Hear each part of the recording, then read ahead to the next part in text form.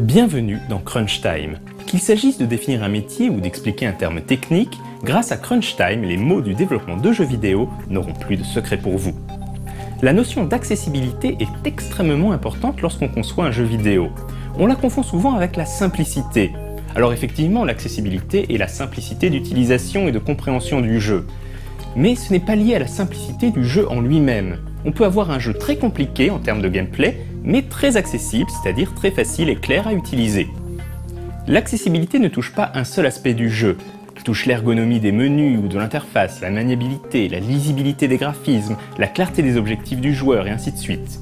Le besoin d'accessibilité doit être à l'esprit des développeurs à tout moment.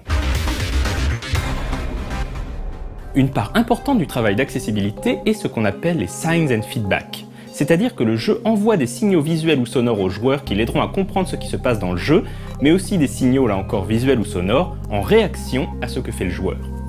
C'est un vaste sujet dont on aura sans doute l'occasion de reparler, mais pour donner un exemple, dans les jeux Zelda, les coffres ont des apparences différentes selon l'importance de l'objet caché à l'intérieur. C'est un sign. Et la petite musique qui retentit en ouvrant le coffre n'est pas la même selon que l'on trouve 50 rubis ou la clé du boss. Ça, c'est un feedback.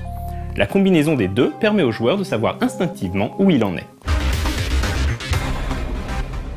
Dans les années 80, l'accessibilité a été le gros avantage des jeux vidéo japonais par rapport aux jeux occidentaux.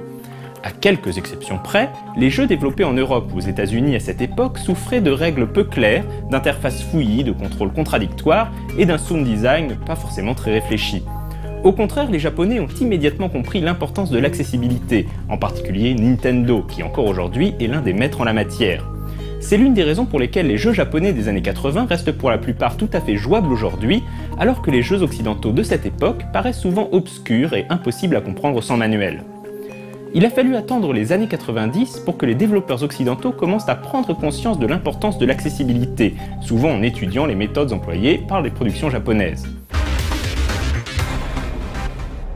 L'accessibilité reste au cœur des préoccupations des développeurs d'aujourd'hui, plus que jamais même. Car si elle ne fera pas la différence entre un bon et un mauvais jeu, elle déterminera le public que le jeu parviendra à toucher, et donc le succès auquel il pourra prétendre. L'histoire a montré qu'aucun jeu n'est trop compliqué, pourvu qu'il reste accessible.